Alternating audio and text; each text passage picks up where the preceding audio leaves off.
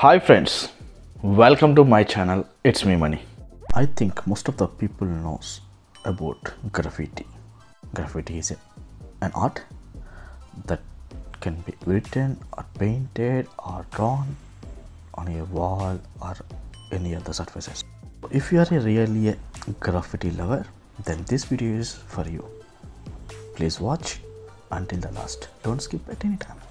La Tabacalera is a place which is near the Lavapies, the Madrid, which has lot of old collections of this graffitis paintings.